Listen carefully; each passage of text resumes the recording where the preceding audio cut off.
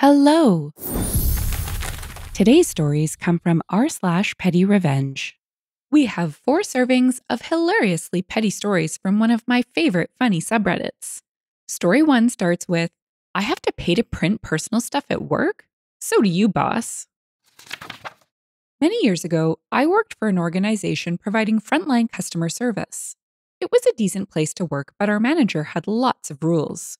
One of the rules was that we could not do any personal printing with the printers at work. If we did, we were expected to pay 50 cents per page for black and white printing and $1 per page for color. I'm not sure who made this rule, but the manager was constantly reminding us. Our desks were not assigned, meaning any day you could be sitting at any desk depending on your assigned tasks for the day. One day, I was interviewing for another job within the organization, but at another location. Prior to the interview, the manager of the other location asked me if I'd mind printing a copy of my resume and bringing it with me, as their printers were down for the day. I said no problem and figured I'd print it at work since it was work related. I was sitting at a desk that did not have a printer at it. The closest printer was located between my manager's desk and an employee desk. So I printed it and stood up to go get it. Before I go to the printer, my manager got there first. My print job went ahead of hers. When she saw what I had printed, she said, oh, OP, this looks like a personal print job. I explained it wasn't, but she disagreed and said since it had nothing to do with our day to day work, I had to pay $2 for four black and white pages. I begrudgingly paid up. I asked her what happened to the money, and she said she always put it in the Christmas party fund. All right. A few weeks later, I was sitting at the desk with the printer at it. It was lunchtime, and everyone except my manager agreed to go to a nearby restaurant for lunch. I had walked out our building and realized I forgot my wallet, so I quickly ran back in to get it. When I got to my desk, I could hear the printer going. I was curious what was being printed as it was spitting out page after page. I quickly glanced at the pile and saw at least 100 pages printed in color announcing a sweet 16 for Trista our manager's daughter. It very obviously belonged to my manager. My manager came out of the bathroom a moment later and seemed shocked to see me standing there. I picked up the pile and passed it to her and told her our Christmas party fund was going to be getting a big boost. She said nothing, but looked really uncomfortable. A few weeks later, our district manager made his quarterly visit. He talked about the upcoming Christmas party and how excited he was for it. I decided it was time for some petty revenge. I raised my hand and said, Just wondering how much we've accumulated this year for the Christmas party from print jobs. He looked so confused and asked me to explain what I meant. So I told him our manager's rule. He got really quiet and said he'd have to review this. The next day, my manager sent an email saying the printing rule was something she was misinformed on and would be abolished immediately. Me, being the little troublemaker I am, hit reply all and asked what would happen to the already accumulated funds. Someone else said we should have a nice, healthy fund for a pizza lunch, and everyone agreed. The next day, I hear my manager ordering 10 pizzas for lunch. Also, used her own personal credit card to pay for it all. Do I think she was pocketing the printing money all along? Absolutely. But it was fun making her sweat and then having to spend nearly $300 the next day to make up for it. Edit. $30 for a large pizza is very standard where I'm from. I ordered a pizza for supper last night, and with tax, tip, and delivery, I paid $36. Our manager ordered us pizza from Boston Pizza, Canadian chain. Google them, and you'll see their prices. OP's manager was running a racket print shop, my goodness. Even back in the day when they had printers at convenience stores, I don't remember it costing that much to print, and offices generally receive volume discounts. It would be one thing if they were trying to discourage use of company supplies, but this is obviously not that. OP's revenge basically amounted in their colleagues getting back their money in the form of pizza. Let's head to the comments where people had more questions about the pizza than anything else. Haloco said, Where do you live work that 10 pizzas cost $300? OP replied, Near a Boston Pizza. Large pizzas from there, several years ago, were at least $25 per pizza plus 15% tax. Hazardous Gaming said now mediums are $25. Sergeant Ridiculous added, $25 is the new $15. Bruddy Rock said, a pizza party that was actually worth it. Ha! Arrow Triple Seven added, nurses everywhere rejoice at the concept. Debal Buena added, yeah, who needed a COVID bonus or hazard pay when you got pizza? Fractera said, I mean, if she was pocketing the print money all along from her employees, that's major theft and she should be fired and prosecuted. Schumann Webb added, This exactly. Boss Lady should consider herself lucky that she got through that with her career still intact. $300 is a small pittance compared to what could have happened. Termination Bliss said, That's why she paid it, knowing that full well. Our second story won all the heartfelt awards for the month. It's titled, My Boyfriend Looked Up Spoilers to Our Favorite Video Game. So I did too. My boyfriend and I play Zelda Breath of the Wild together. I am a take your time and enjoy the ride kind of gal, while he is a let's look up how to beat this game right now kind of guy. Because his way ruins all the fun, we came up with a rule no looking up spoilers. We were looking for a particular challenge, the Eighth Heroine side quest for my fellow Zelda nerds, for a very long time. Suddenly, my boyfriend said, I did something bad. I looked up where to go. I'm so sorry. I just couldn't take it anymore. I told him it was fine, but that he could not tell me what he had seen. He agreed. I then excused myself to the bathroom and looked up the location as well. I then spent the next hour and a half wandering so close to the location without ever making it there. I could see him squirming around in his seat every time I got close. When I jumped off the cliff the statue was built into, gliding down to the base of the statue and continuing on without turning around to look at it, I thought he was going to explode. He was clenching his hair in both fists and biting his lower lip, trying to contain himself. That's when I caved and told him what I had done. He thought it was hilarious and told me about how he wanted more than anything to yell, Turn around! What are you doing? We had a good laugh about it. He hasn't looked up a spoiler since. Love this. I don't know about you, but I find it impressive that OP's boyfriend managed to contain himself despite losing his composure. Let's head to the comments, which point out some funny details about OP's compromise. Sly Blue said, This is the kind of wholesome petty revenge we all needed to see today. Nope, Isock said, Please don't spoil for me how this relationship goes. Scapegoat of War added, statistically, bad. D. Allenbert said, is she gonna look up those statistics, then spend the next 60 plus years taking the relationship everywhere except there, just to be extra petty?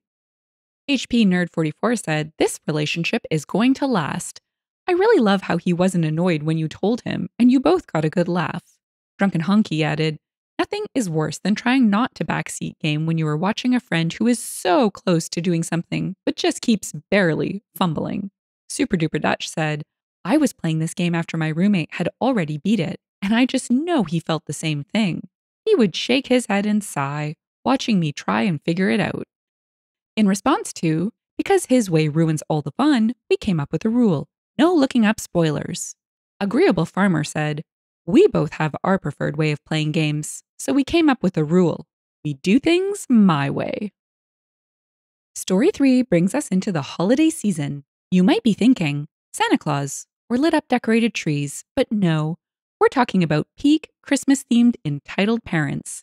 The story is titled, Don't Use Me to Parent Your Kids. I have dwarfism, and this often leads to weird interactions in public, especially with kids. Sometimes a kid comes up to me to ask me why I'm so short, and I have a pre prepared response for that. But most of the time, they just loudly ask their parents why I'm so short.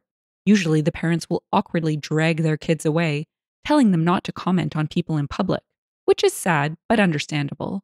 I like the parents who just say something about how some people are born like this. And even though we look a bit different, we're still regular people, just like everyone else. Sometimes I hear a gem like, I bet he shrank in the wash. What I can't stand is when people try to use me to parent their kids. I'm sure you can think of ways to convince your kids to finish their plate at dinner that don't involve pointing at a dwarf in public and saying, That's what happens when you leave food on your plate. Or, He didn't listen to his mommy when she told him to eat all his vegetables. It's rude and it's humiliating. It teaches your kid that differences are a bad thing and that people are at fault for their differences or disabilities. It just pisses me off. A few days ago, I was in public and a kid who was maybe four or five years old was acting out, and his mom was clearly struggling to keep him under control. So she pointed to me and told her son that I was one of Santa's elves, and I was watching him and would tell Santa about his behavior. The kid's name was on a keyring on his backpack, so I just said, It's okay, Hunter. You're already on the nice list, and Santa told me you're getting an iPad this Christmas. Hunter was excited. His mom was not. Who does this? What is wrong with people? I mean, this is just plain mean and unnecessary. It's actually quite bothersome. I have to say, very well played on OP's part, though. Probably wishful thinking to hope Hunter's mom learned her lesson here, but I bet she'll at least think twice before saying something this idiotic in future. Let's take a sleigh ride to the comments, where there's a very cute anecdote about a little boy curious about wheelchairs. JLB said, The way the mom spoke about you was dehumanizing. Your comeback was perfect. Read Bike Yodel Repeat added, Literally, elves aren't human. CJ's opinion shared, My son asked why a man was so short. All I thought to say was because he wasn't tall. My son accepted that with no questions. Sometimes simplicity is all you need. OP replied, also a great response. Haha. Kodo said, I always liked, quote, my legs are long enough to reach the ground, end quote. Groovy Yaya shared, that is awesome. My cousin was definitely of the, hey, people come in all shapes and sizes with her son but she could not get his three or four year old self to stop staring at a guy in a wheelchair when they were standing on a sidewalk. I think waiting for a parade or something. He started to ask questions, and my cousin shushed him, and the man said that it was okay. At his age, questions were natural and understandable. He was missing a leg. Well, to both their surprise, he wasn't at all curious about the missing leg because people come in all shapes. He was fascinated by his wheels. Kiddo had been bitten by the obsessed by all vehicles bug thanks to Grandpa, and I think even asked him if it had gears, etc. When the guy popped a wheelie, my cousin said her kid practically exploded with excitement and she got an immediate request that he wanted a wheelchair too, so he could learn to do that. It tickled the guy, thankfully. On to story four. This one might leave you scratching your head wondering, what's petty about this revenge because it's glorious? Until you remember what started it. Our story is called My Girlfriend Got an Illegal Airbnb Ring in Her Apartment Complex Busted. We live in a new and small apartment complex, only 40 units within two buildings. It's very low key and within walking distance to our downtown. It's very affordable for how convenient a location it is. Back in September, we noticed the vacant unit beside us was getting moved into by a new tenant with furniture, decor, etc. One weekend, not long after moving in, we heard what sounded like a little party with music and loud voices well past midnight. We heard a lot of people coming in and out of the front door, but letting the door slam each time to where it shook the walls. Maybe they were having a housewarming party or a friend's get together at the new place. So we brushed it under the rug as a one off incident. For the next few weeks, we noticed a variety of people coming in and out of this apartment, and none of them seemed to be the same individuals. Parking also started to become much more busy than usual, as well as the cars kept changing. So, something seemed off. My girlfriend started working night shift for her job not long after the neighboring apartment became occupied. She is a light sleeper and noticed that all throughout the morning and before going to work, the neighbor's door was always slamming and shaking the walls. She understands that people are active in the day and she can't ask people to cater to her night shift needs, but she felt the constant slamming of doors was not only disruptive, but unusual behavior.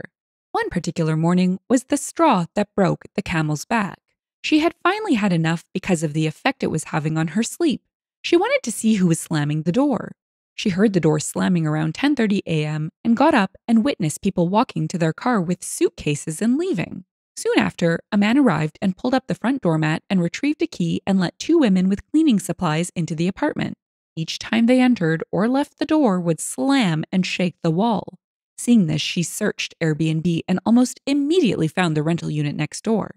Same floor plans, wall paint, flooring, etc. To our surprise and anger, we found a total of four listings in our apartment complex alone on the host's profile. That is 10% of the apartments in our buildings. Through the listings, we found the individual's LinkedIn and business website. On his website, he claims that he does something called rental arbitrage. Essentially, this is renting out a long term rental on short term basis, lease an apartment, and rent it on Airbnb for profit. This can be done legally with the landlord's permission. The lease agreement does not allow for subletting or short term rentals. They were renting out three of the four ground end units offered, units with unique floor plans. The fourth unit was a handicap accessible unit. That's right, this man and his business partner leased an apartment meant for accommodating people with disabilities, with the intention of using it for his little short term business empire he was trying to build. Our city and region, like in other places, has been feeling the squeeze on apartment availability, and these buttheads are contributing to the problem. It was at this point we took this personally, as we had our own problems dealing with apartment availability, waitlists, disappointment, and frustration. My girlfriend called the leasing office and notified them that the neighboring unit is being rented out on Airbnb and asked if that was allowed, to which the office gave an emphatic, absolutely not, and asked for the listings to be sent to them in an email. Later that day, the office called her back and said they notified that tenant that they will be inspecting the apartments the following afternoon. After the inspection was completed, the office notified that they had sent a cease and desist of any rental activities outside the lease agreement or face eviction. They also informed us that you should not have any more problems concerning the matter, and if you do, don't hesitate to give us a call. Now, this jerkwad has four leases he is stuck paying $1,500 per month for and can't make any more money through Airbnb. He's bleeding money at the tune of about $6,000 per month. His only legal options are to continue paying for them or to break the leases and vacate. Last week, we watched as movers emptied out the apartments. I'm sure they lost deposits and or were penalized for breaking the leases. A very expensive lesson for being greedy entrepreneur. Don't be an a-hole, folks. Also, don't piss off a night shifter trying to sleep. Edit. Forgot to mention that his LinkedIn account shows he enrolled and completed courses through Tai. Here in my garage, Lopez online program. Edit 2. A lot of butthurt people in the comments and DMs. Stay mad. This is a prime example of people taking justice into their own hands. With the current state of things, it's totally understandable that OP and his girlfriend couldn't tolerate this guy trying to make money on four units that should have gone to people who needed them. Affordable housing is super hard to find. OP and his girlfriend did what they thought would be best for the benefit of others. I wonder why people were so mad, and I wonder what DMs he got. Anyway, on to the comments where, as expected, there's lots of anecdotes of people having issues with Airbnbs. Virginie said, the leasing office rented four apartments to one person and they didn't think it was weird? Something stinks. OP replied, That's what we thought too. He has at least another guy in on it. One of the places, I think, was used by another tenant before we moved in, we think. Perry Chai said, Your girlfriend is a hero. I would love to have someone like her in my neighborhood. We're eagerly awaiting the Airbnb crash over here. oh, Jenny added, Hopefully, we will see more of this soon. There are a lot of people doing exactly what this guy was, but Airbnb listings are way down. I think more investors are going to go down. Who we once were added, Homes are supposed to drop like 20% as well, so it'd be nice if these people bought high and take a loss. McNew shared, I'm a travel nurse. I rented an Airbnb for a week while waiting on my short term housing, three month rental, to be ready. The listing said, private cabin. Okay, looks good, whatever. We get there, and it's a complex of single story townhouse style apartments. I was installing a minor cosmetic item on my Jeep, and someone came by and asked if I had just moved in, etc. I was like, uh, no, just staying for the week. After a brief chat, I told him I thought I rented a private cabin on Airbnb. Turned out the dude worked for the complex and acted like a massive butthole to me the rest of the week. The Airbnb host actually called me and told me I needed to tell them, the complex, I knew her personally, so that I wouldn't get in trouble. Me, not her. I had no place to go, and I was 2,000 miles from home. I had to just deal with it for a few days, but I was furious. Furious to be in that situation, furious that the host asked me to lie for her benefit, furious that she was part of the problem of people effing over locals and messing up the housing market. I reported the listing to Airbnb, left an honest review of the host, and gave the apartment complex as much information as I was comfortable sharing. If you've enjoyed the story and would like to hear more, consider liking, subscribing, and leaving a comment. Thanks, and bye for now.